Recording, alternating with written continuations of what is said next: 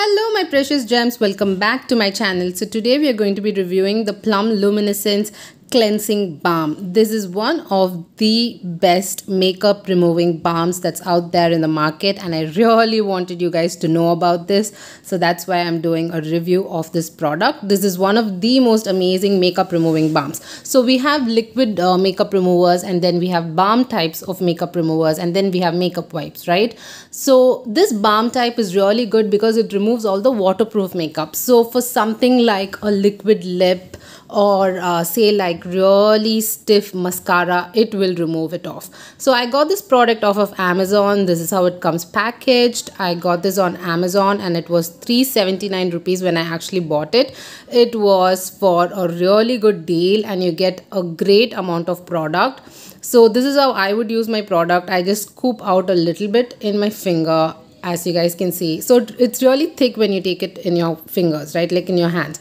But when you actually just rub it it just melts and it just becomes this really nice uh, you know texture that it actually removes your makeup but it does not let your skin feel uh, dry or anything. It's got shea butter sunflower oil cocoa oil argan oil. So it has all of that goodness. I'm just going to show you how i use this product though. So just a little bit I take it. You can actually just uh, heat it up within your fingers or you can just directly apply it. I'm just using it on my liquid lips because I want you guys to see how well it actually removed my liquid lipstick. Sometimes, you know, when you remove your liquid lipstick, it leaves back some stains or something like that. But with this product though, it removed the last trace of makeup from my face so I just use a cotton pad to remove it. You can also use some warm water if you would like to, you know, enhance the cleansing of this balm. You can use warm water and you can just remove it. So this is how clean the makeup comes off in the first swipe itself. So I'm just going to remove a bunch of liquid lipsticks that I had tried for another video. So you guys can actually see how well this product works again and again and again so after you use this product though your skin is going to be feeling very moisturized unlike the liquid uh, makeup removers right? The liquid makeup removers are amazing for uh, certain types of makeup removing.